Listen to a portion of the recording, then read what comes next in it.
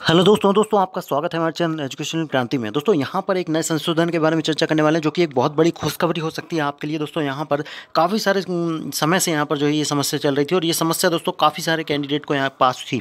वैसा ही कैंडिडेट यहाँ पर बेरोजगार होता है, और साथ साथ यहाँ पर सरकारी नौकरी लगने के बाद भी, दोस्तों, उसकी, इसकी, उसको उतनी सैलरी यहाँ पर नहीं मिल पा रही थी एक काले कानून के द्वारा। एक काला कानून, जो कि, दोस्तों, यहाँ पर कार के द्वारा यहाँ पर जो है लागू कर दिया गया था, जो डेढ़ साल की सरकार थी, उसके अंतर्गत ही उस कानून को, दोस्तों, यहाँ पर ये कानून को दोस्तों यहाँ पर सरकार के द्वारा यहाँ पर खत्म करने का प्रयास किया जा रहा है। उसके, उससे दोस्तों यहाँ पर फ़ायदा जो है, सारे कैंडिडेट को मिलने वाला है। चाहे वो दोस्तों यहाँ पर जो है, आगामी वैकेंसियाँ हो, आपकी group two group group three के sub group four group four या पुलिस की भर्तियाँ, जो भी भर्तियाँ आगामी आने वाली है, सारी भर्तियों में भी आपको लाभ मिलेगा। साथ ही साथ दोस्तों, जो दो हज़ार अठारह के बाद से जो कुछ भर्तियाँ हुई हैं, उनमें भी यहाँ पर लाभ मिलता, मिल सकता है। इस सारी जानकारी को देखने का प्रयास करेंगे। यहाँ पर क्या होने वाला है, क्या, किस प्रकार की चीज़ है?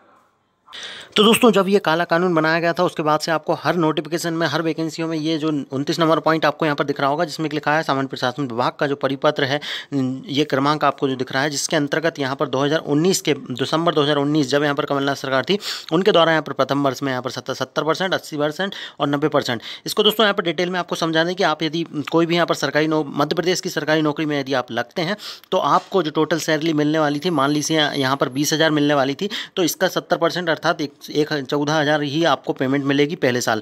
दूसरे साल से दोस्तों आपको यहाँ पर इसका अस्सी परसेंट, जो आपका बीस हज़ार है, इसका अस्सी परसेंट आपको मिलेगा। इसके बाद से, इसके बाद दोस्तों तीसरे साल आपको नब्बे परसेंट मिलेगा।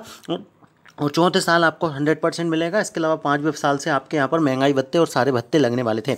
इस इस काले कानून को यहाँ पर जो है समाप्त करने का प्रयास किया जा रहा है, जिसके बारे में हमारे द्वारा एक वीडियो में आपको जेल पहरी की वैकेंसी में बताया भी था कि आपकी पेमेंट जो है, किस प्रकार से यहाँ पर इसमें बहुत कम हो जाती है और इस पर गुजारा करना भी बहुत मुश्किल हो जाता था। ऐसे में दोस्तों, यहाँ पर एक नगर खबर निकल के आई है, उसको यहाँ पर देख लेते हैं। दोस्तों, यहाँ पर आप देख पा रहे होंगे परीक्षा अवधि को दोबारा से यहाँ पर दो साल करने पर विचार किया जा रहा है। इस इस चीज़ को और आपको समझा दें यहाँ यहाँ पर जो है पहले किसी, कोई भी कैंडिडेट किसी भी नौकरी में लगता था तो दोस्तों, उसको दो साल परिवीक्षा अवधि में रखा जाता था। और जब से ये नियम आता था, सत्तर परसेंट, अस्सी परसेंट, नब्बे परसेंट, तब आपकी ये जो प्रक्रिया है, वो तीन तीन साल के लिए हो गई थी। उसको दोस्तों, यहाँ पर जो है दोबारा दो साल का करने का प्रयास किया जा रहा है। इसके अलावा यहाँ पर यहाँ पर पढ़ सकते हैं। तत्कालीन कांग्रेस सरकार ने नई भर्ती में यहाँ पर कर्मचारियों के लिए जो तीन साल की यहाँ पर परीक्षा अवधि रखी रखी थी साथ साथ इसमें पहले पहले साल सत्तर परसेंट, दूसरे साल अस्सी परसेंट, तीसरे साल नब्बे परसेंट। सैलरी देने के मामले में भी संशोधन करने पर विचार चल रहा है। इसके अनुसार यहाँ पर जो है परीक्षा अवधि 2018 के पहले अनुसार दो साल दो साल की जाएगी। इसके बाद यहाँ पर कर्मचारियों की जो है वेतन को, यहाँ पर कर्मचारी के वेतन को यहाँ पर सौ किया जाएगा और साथ साथ परिवीक्षा अवधि को यहाँ पर समाप्त कर दिया जाएगा, जो कि यहाँ पर वेतन अवधि शुरू थी। तो दोस्तों, यहाँ पर जो है वेतन की वृद्धि भी जो है तुरंत शुरू हो जाएगी आपकी, जो, जब आपकी परिवीक्षा अवधि समाप्त हो जाएगी। इससे दोस्तों आपका काफ़ी सारा फ़ायदा होगा और आपकी पेमेंट यहाँ पर बढ़ जाएगी। शुरू ही। इसका फ़ायदा जो है, पचास हज़ार से ज़्यादा कर्मचारियों को मिलेगा। ये पचास हज़ार कर्मचारी कौन है, जो कि दोस्तों यहाँ पर आपके एम पी टेट में लगे हुए हैं, वर्ग वन, वर्ग टू में। इसके अलावा यहाँ पर जो है जेल फेहरी की भी वैकेंसी निकाली गई थी, उसमें भी ये लागू किया गया था। इसके अलावा वर्तमान में एमपी पुलिस और यहाँ पर जो है एमपी टेट की भर्ती हुई है, उनमें भी ये सारा सारी चीज़ें लागू हैं। इसके अलावा हो सकता है, group two, sub group four वाली वैकेंसी में भी लागू हो और यहाँ पर कृषि वाली वैकेंसी में और ग्रुप फाइव वाली वैकेंसी में भी लागू हो। यदि इन सभी में लागू है तो ये सारा यहाँ पर काला कानून यहाँ पर जो है, समाप्त होने वाला है। इनके द्वारा यहाँ पर आगे बताया गया कि अभी अभी परीक्षा अवधि जो है तीन साल की है। इसको खत्म करने का प्रचार किया जाए साथ साथ दोस्तों, इससे कर्मचारियों को नुकसान हो रहा है।